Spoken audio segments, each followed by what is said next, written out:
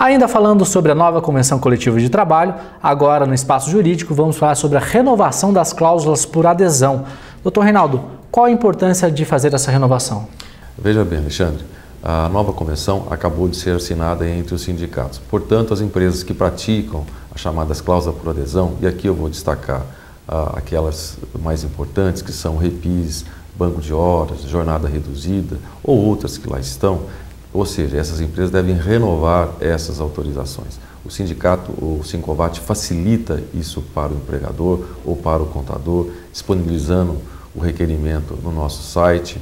Se tivermos os dados da empresa, inclusive o requerimento já vai inclusive devidamente preenchido, bastará apenas o contador se encaminhar de colher as, as devidas assinaturas e, e nos encaminhar. Importância, se você não tiver a autorização para o REPIS, para o banco de horas, trabalhos em feriados, jornada reduzida, a empresa estará irregular. Então, o momento é esse, de já de início de vigência da convenção, regularizar essas cláusulas para passar o ano aí de vigência tranquilo.